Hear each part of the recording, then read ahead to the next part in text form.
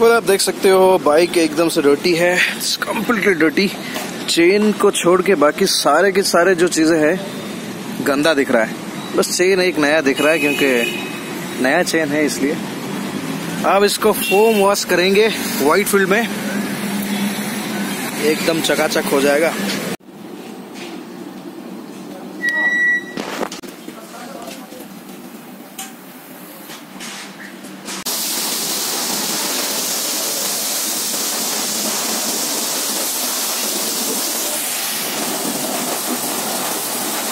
Obrigado a.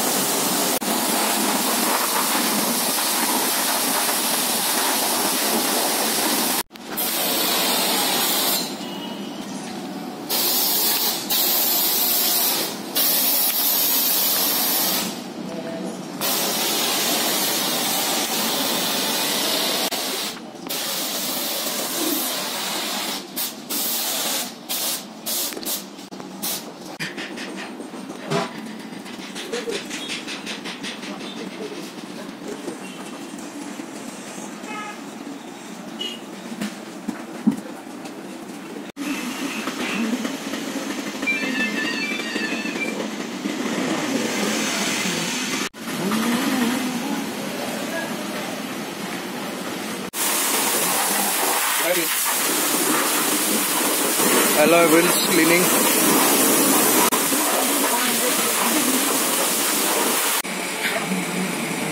So wheels are cleaned.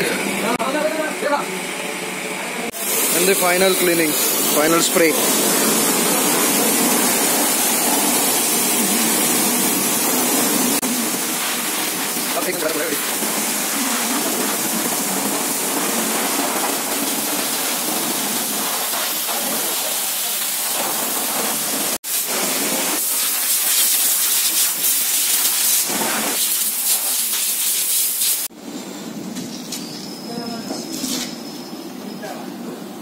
Well guys, as you can see now, the bike is absolutely clean.